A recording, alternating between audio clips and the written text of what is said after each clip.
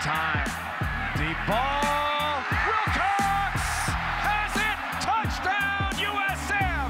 Mitch Wilcox, what a catch. Throw looking long. He's got Marquez Valdes Scantling. Touchdown Bulls. Marquez Valdes Scantling wide open over the middle. McLeod to throw. Over the middle, Scott his man. Touchdown. It's Mitch Wilcox, the big tight end from Tarpon Springs.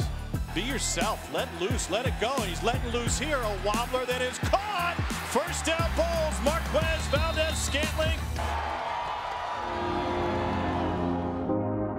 I've always had my own agenda for, for what I want to accomplish as a player, as a person, but the way people talk about me in the media and stuff has not really changed my goals and, and, and what I want to accomplish. I've always told my parents from a young age that I never wanted to be average. I hated being average, I just hate that word in general. Roberts the hit, Slade the recovery, McLeod back to work, wide open Wilcox. He'll cut back at the 20. Wilcox at the 10 and down at the 1. Mitchell Wilcox, the tight end, a huge play of 54 yards. Fantastic catch for South Florida, Marquez Valdes Scantling. And I don't even want to be compared to anyone.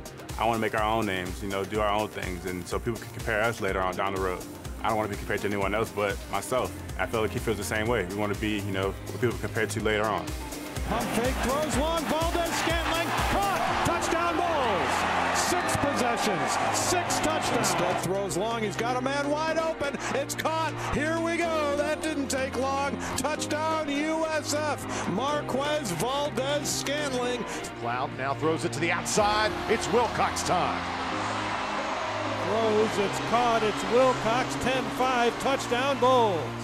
I always want to be the best I can be, and if that means being one of the best tight ends in the country, that's what I want to be.